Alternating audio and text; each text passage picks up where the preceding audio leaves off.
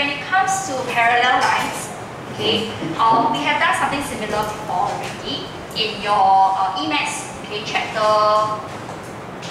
4 on coordinate geometry, I think, right? Uh, so we will definitely be requiring some top, some things that we have covered in your EMATS to be used in your AMATS as well. So uh, things like your gradient and length of line segment, those are important things, especially the one of gradient right? Uh, but before we talk about how parallel lines gradient are actually related to one another, in fact, I think for EMATS, we might have gone through that already. Okay, uh, I want to talk about the angle of inclination first.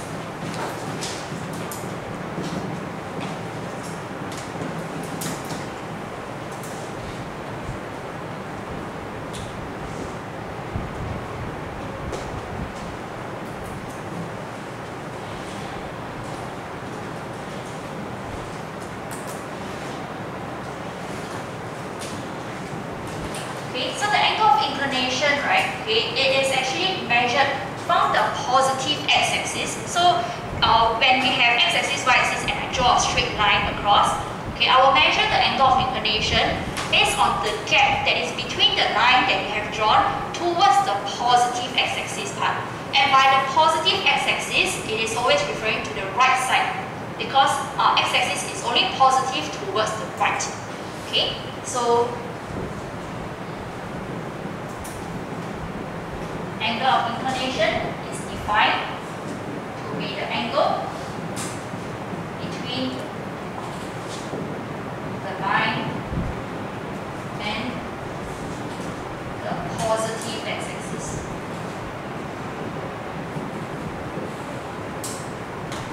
Right? Why is the angle of, angle of inclination so important?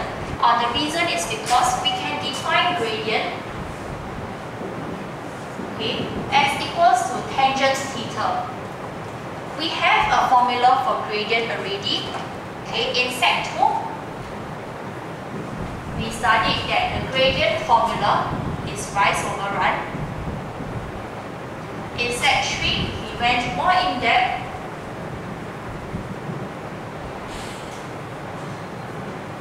where we make use of coordinates such that we get y2 minus y1 over x2 minus x1. So this other formula that I'm introducing to you today is where we make use of the angles. Uh, so there's many different. Um, so so this one talks about the length, how the length differs. Okay, then after that for the gradient we make use of the coordinate, the one we learned just this year, and this one we make use of angles. It is not always that angles will be given to you, so use it wisely depending on the question itself. Right? Now, why is it that the gradient is equals to tangent theta? The reason is because if I want to take a look at a positive going up, oops, sorry, an upward sloping line like that, okay? And I talk about this angle. If I were to draw my usual right angle triangle, this will be how it looks like.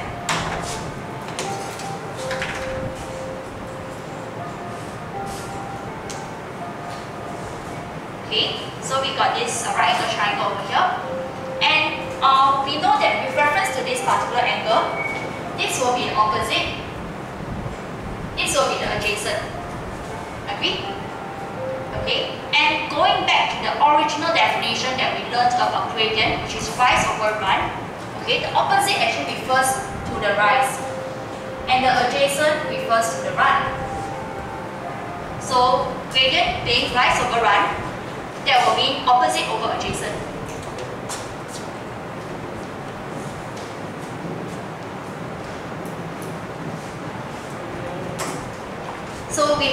understanding of our opposite over adjacent, we should go back into trigonometry. This is none other than uh, the TOA, okay, of TOA CAH SOH. So that's why. And the TOA of what, okay, tangent of what angle? Tangent of the angle that you have referred to to identify your opposite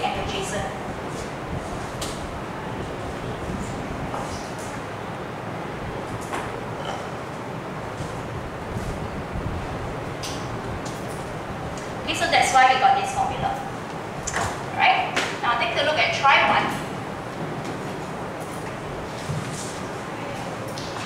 We want to find the acute angle that the line segment joining P and Q makes with the positive direction of the axis. So we got this coordinates P and Q and we want to find the acute angle okay, that is between this line PQ with the positive x-axis. So that means that we're trying to find theta. Alright? I am definitely not going to ask you to plot out these points and ask you to use protractor to measure. That is not wise. So we go back into using this formula. We find out what is the gradient of the straight line first by making use of the coordinates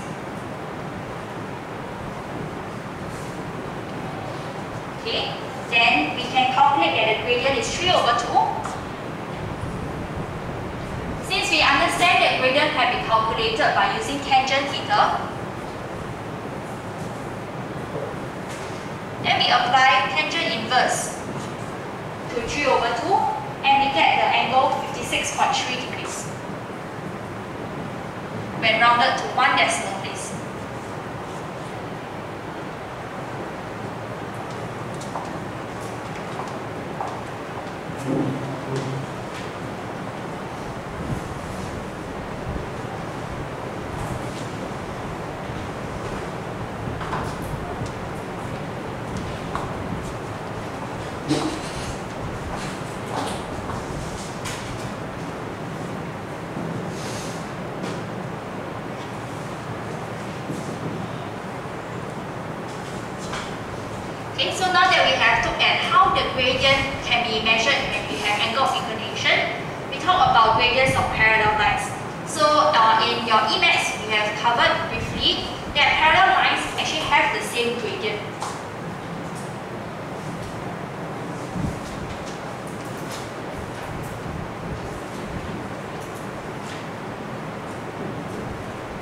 and then we understand that they have the same gradient. So if I have two lines, okay, one having an equation maybe ax plus b, okay, then the other line to be y equals to cx plus b, for example. So they have the same gradient, that means that a will be equal to c if they are parallel.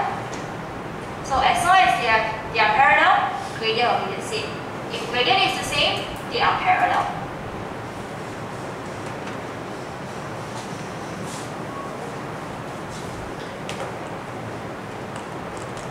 if I were to connect that to talk about the angle of inclination, so if I have two lines that are parallel here, naturally by our parallel lines property, angle properties, this angle surely have to be the same as this angle because of corresponding angles, parallel lines.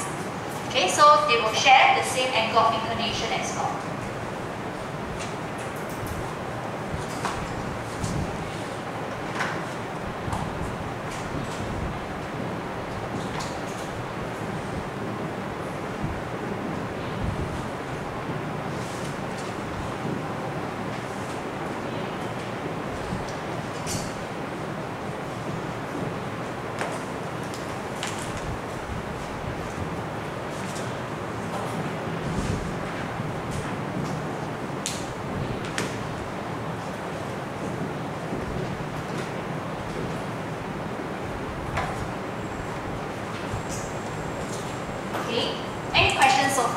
only when you have a question. Now in track 2, we want to determine whether the lines and, or AD and CD are parallel or not. So in order to check that, we will find out what is the gradient of these two lines. You will find that I usually write it uh, with the notate with the words gradient AB, gradient CD. Okay, sometimes in your other books or textbook, whatever books that you read, okay, or maybe you will see notations like that. Okay, sometimes we use the letter M to denote gradient, okay, and then we put AB at the, as the uh, small the subscript. Okay, so uh, that is another way for you to write, right? But I prefer to write it in inverse.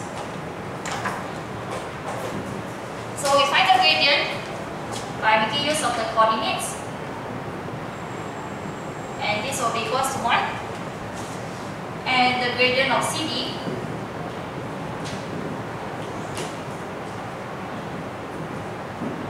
and is negative 1. So because the gradients are different, they are not parallel. So make sure you draw the conclusion.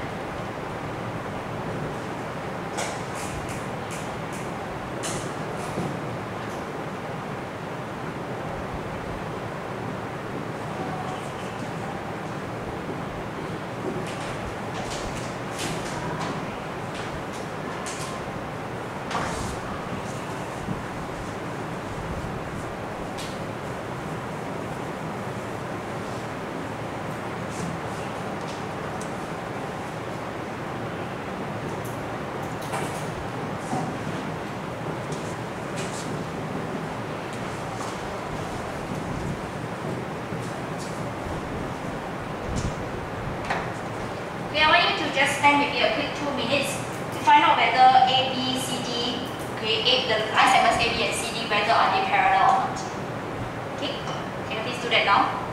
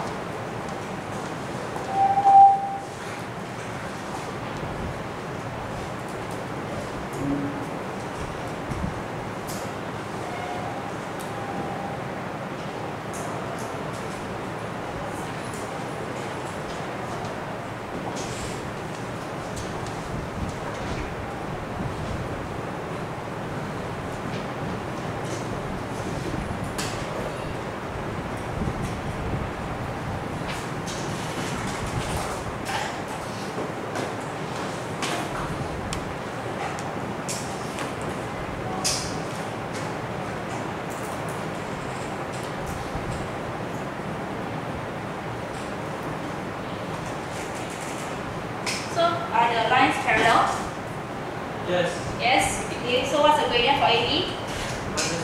Negative 2. And CD is?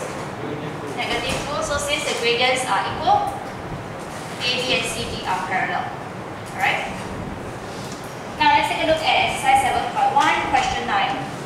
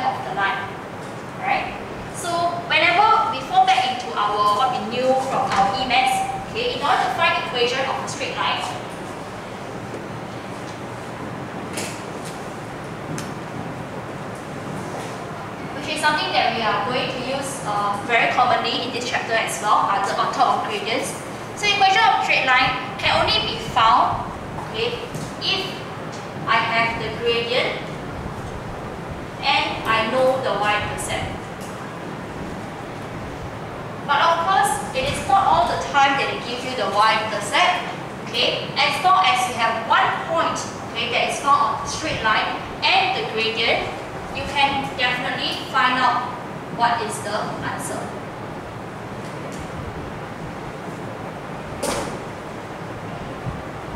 Okay, so one point. Right, so um, we're given one point that is on the line. We're not given the gradient directly, but we're given the angle 45 degrees. We can make use of this angle to determine what is the gradient. So, earlier on, I gave you the formula that gradient is equal to tangent theta. So that is tangent 45 degrees. And that will be equals to 1. So now that I have the gradient and I have the point okay, on the uh, straight line, I can find out what is the equation already.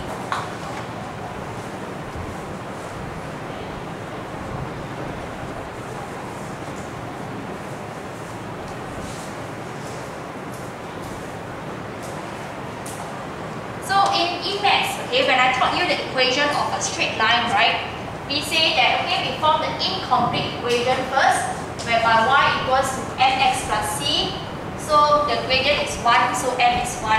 Therefore, we get y equals x plus c. Then after that, I substitute in 4, negative 3 into the straight line equation. And we find that c is equals to negative 7. Therefore, we get this uh, y equals to x minus 7 as the equation of the straight line. Now in AMATS, right, I would like you to uh, learn another way of finding equation of a straight line. Okay, so in EMATS, okay, form incomplete equation, then sub in point. Okay, uh, you may use this method that I've just, I'm going to introduce to you in your EMATS, right? Uh, but whatever that you're comfortable with. I find that this other method that I'm going to teach you is probably slightly faster. Okay, so um, we, the, the background behind this method is because we know that gradient is found by y2 minus y1 over x2 minus x1. So, correct? This is how we find the gradient formula, right? So, what if now I only got one point, but I don't have two points, right? So, maybe I leave it as a variable y and x. So, x1 and y1 are numbers that we know. Agree? Okay? So, if I know the gradient, let's just keep it simple to write it as m. I cross multiply. Okay, I will see that the gradient multiplied by x minus x1 equals to y minus y1. So we can go by this particular formula to very quickly find out the equation of a straight line. Let me show you how that is done. So this formula, I just flip it around, okay? y1, x1 are coordinates of the point that I know that's on the straight line. So y minus away, y1 is negative 3, equals to m, the gradient is 1. x1 is 4. Okay, so I substitute accordingly, then I simplify.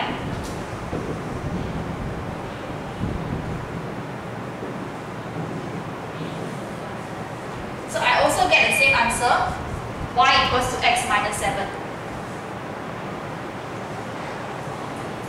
Okay up to your preference. But uh, moving forward in this chapter, I will continue to expose you to using this. Okay?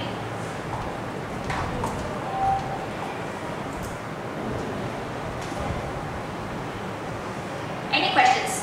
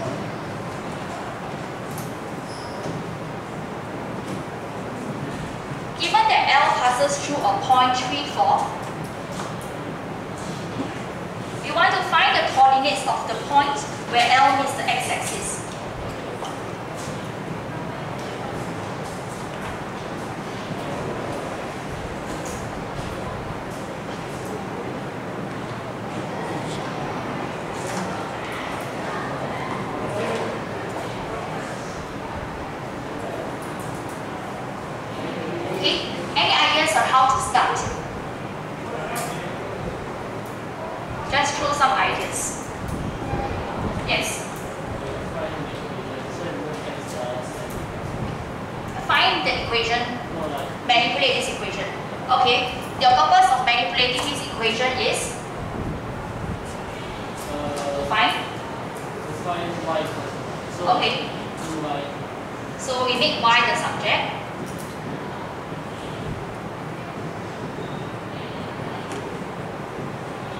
Okay.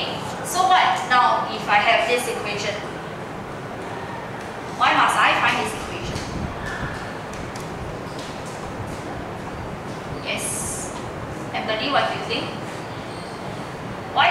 Mervin wanted to find this equation for?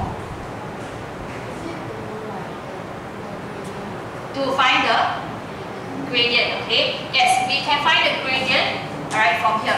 We cannot find the gradient of the lines from here because we must have it in the format y equals to mx plus c. Okay, to be very precise, if I want to do it that way, y equals mx plus c, I will find that the gradient is negative half. Okay, so the gradient of this line L will also be negative half because they are parallel.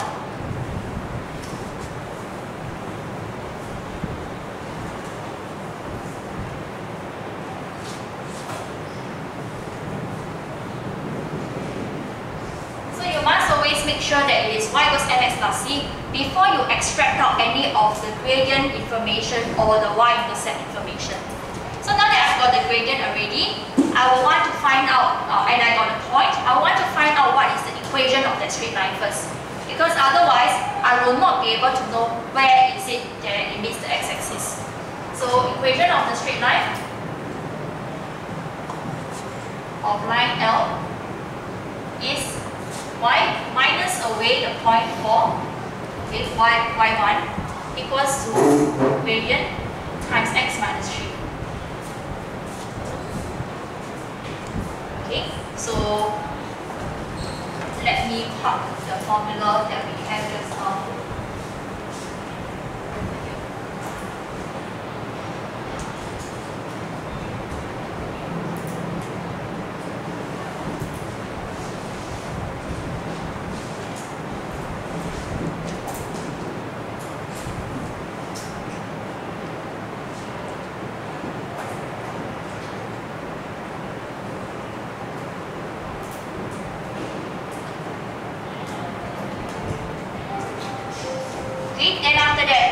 meditation.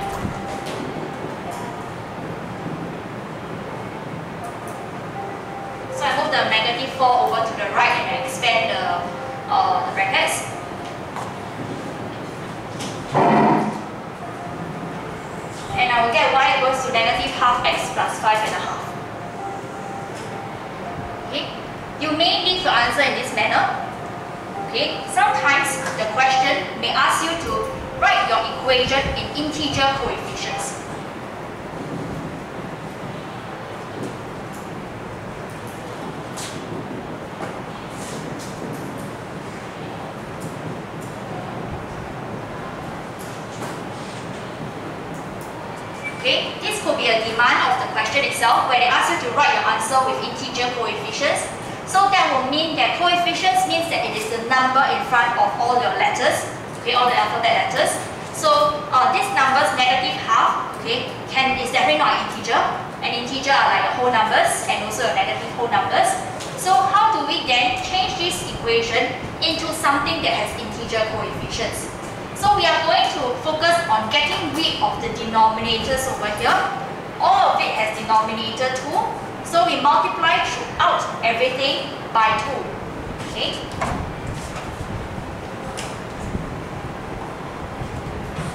So I will have 2y equals to 2 times negative half x plus 5 and a half. So I'll have negative x plus 11. So 2y equals to negative x plus 11 is the same exact equation as this one. They both mean the same thing. Okay? Because I times 2 on both sides. If I times 2 on both sides, it makes the equation balance. It makes it the, the same, equivalent. Right? So please be very careful into uh, reading what the question wants. Okay, but it's not all. The question wants to find where it meets the x-axis. So actually from here, when y is equals to 0,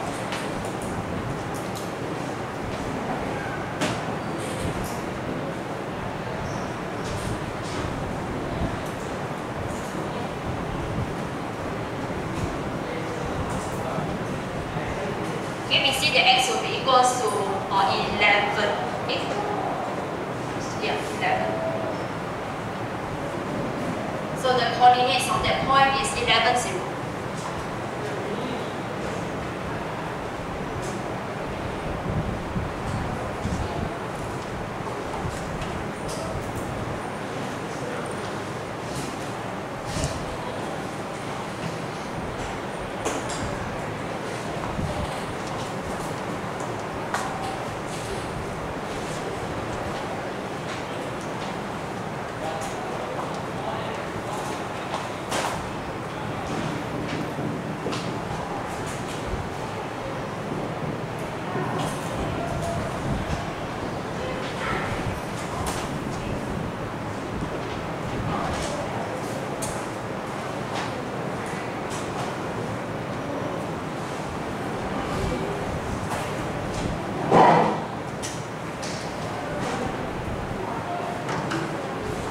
Okay, so exercise 7.1 question 4. We are given the coordinates of three points. Everyone, uh, rather the question says that they lie on the same straight line. So what does it that it lies on the same straight line? Okay, I don't know whether it's a positive gradient or negative gradient. So this is just a sketch, okay? So um, as long as they lie on the same straight line, right, the gradient will definitely have to be the same, right? The length of it may not be the same because it could be in this manner, right? So uh, as long as we understand that on the same straight line, gradient is the same, then we can form an equation to help us to find the value of c, right?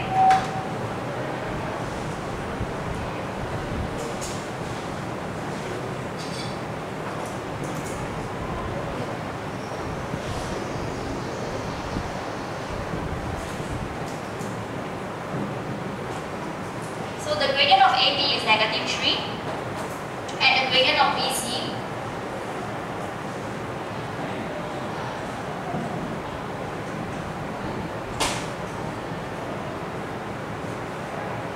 will be this.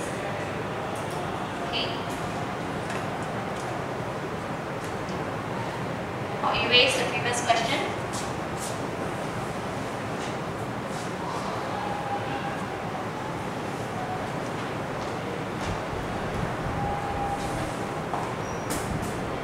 So this will simplify to be negative 5 minus c over 2 plus 1 is 3. Okay, it doesn't matter whether you're finding the gradient of AB or the gradient of BC or the gradient of AC. As long as you find two of them, AB, BC or AC, any out of this out of these three, any two of them, uh, you can make an equation out of it already. Okay, so because they are on the same line, same gradient, we get this equation and then we proceed to solve. And we find that C is equal to 4.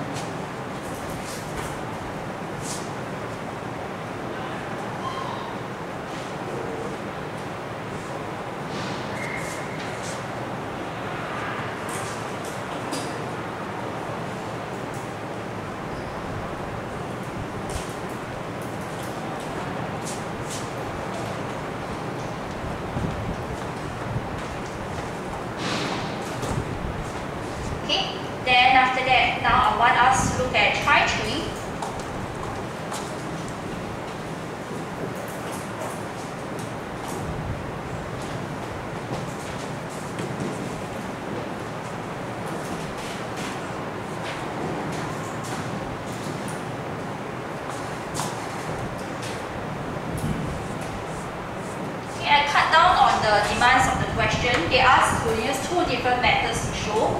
Okay, I will just you one method only. Uh, because I also actually not very sure what kind of other methods they want. Right, I only know this one. Okay, so which method is actually easier? Um, I have nothing to compare. Alright, so um, let me show you what. How do I prove that something is collinear? First of all, what is collinear? Okay, collinear means that they lie on the same straight line.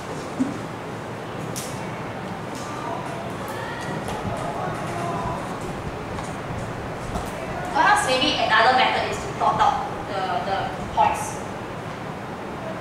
Okay, so when we lie on the same straight line, right? Just now in question 4, we see that lying on the same straight line tells us that the gradient will be equal. Okay, so that means that if something is collinear, gradient has to be equal. But if I were to say that two lines have the same gradient, does it mean that it must be collinear? So I'm looking at, I was looking at this direction. Collinear means that gradients are equal. So my question here is, if I say gradients are equal,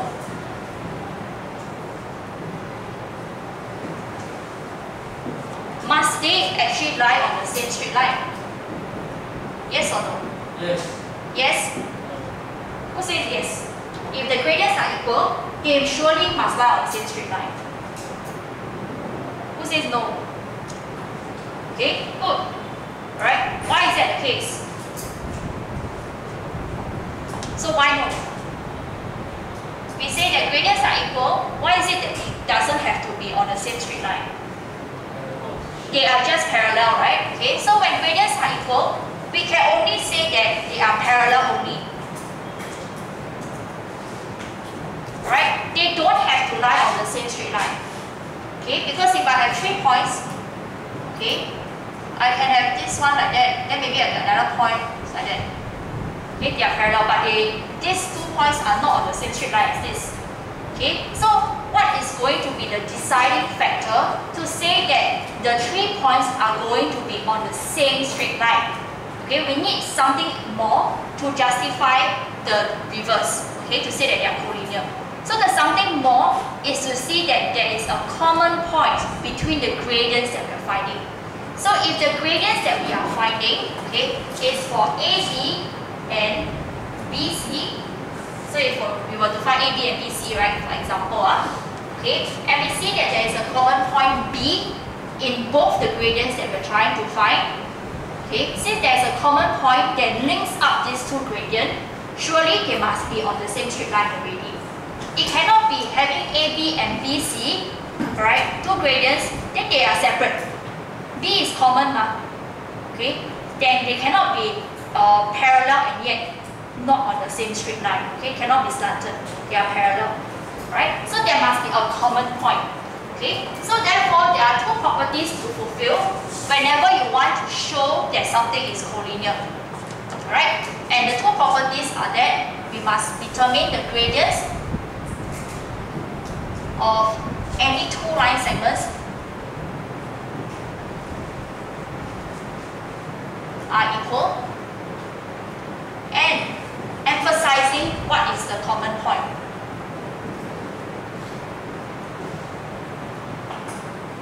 Because very often okay, uh, we see a lot of work that always never write down what is the common point.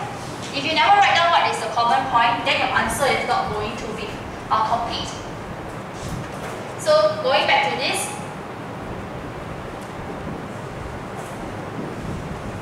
okay, we find out what is the gradient of PQ, right? That will be 12 minus 2 over 4 minus 0. So 5 over 2.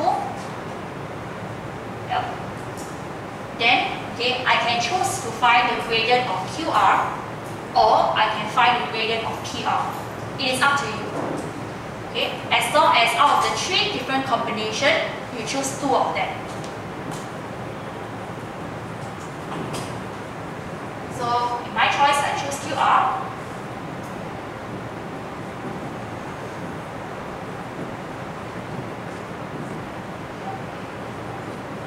And we see that QR is over 2. So now we prove that PQ and QR are parallel. Then we must make sure that they join. So uh, the common point is Q. So we must write down a statement. Since PQ and QR are parallel and they have a common point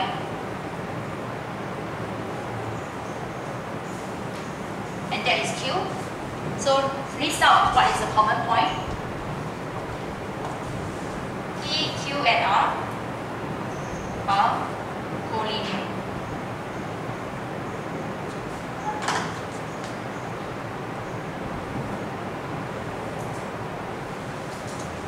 Okay, So we always look out for these two key points when it comes to proving things to be